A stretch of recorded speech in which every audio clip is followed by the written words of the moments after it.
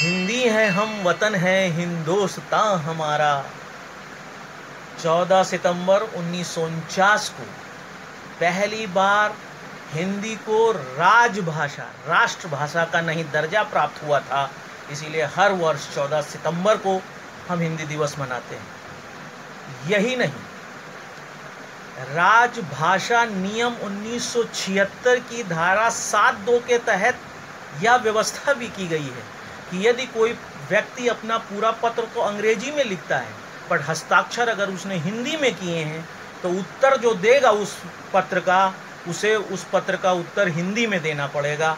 हस्ताक्षर का महत्व इस देश में ज़्यादा बताया गया, इसलिए हर उस व्यक्ति को इस बात का ध्यान रखना चाहिए कि यदि उसने हस्ताक्षर हिंदी में किए हैं तो उत्तर उसको हिंदी में ही प्राप्त होगा। यही नहीं, संविधान के अनुच्छेद 343 में जिसमें बात की गई कि हिंदी राजभाषा होगी, उसमें तीन सौ एक में ये कहा गया हिंदी राजभाषा होगी और तीन सौ तैंतालीस दो में कहा गया अंग्रेज़ी भी कामकाज की भाषा होगी।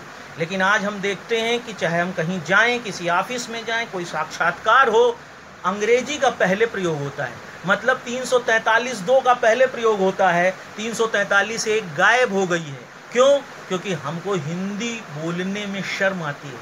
अंग्रेज़ी बोलने वाला ये बड़े आराम से कहता है, मुझे हिंदी नहीं समझ में आती। बट एक हिंदी बोलने वाला ये नहीं कह पाता है कि मुझे भी अंग्रेज़ी नहीं समझ में आती। अगर आपको अपनी बात कहनी है तो हिंदी में करिए। और हमें आपको आज यही शुरुआत करनी पड़ेगी कि हम खुल कर कहें, मुझे हिंदी आती है, मुझसे हिंदी में बात करें।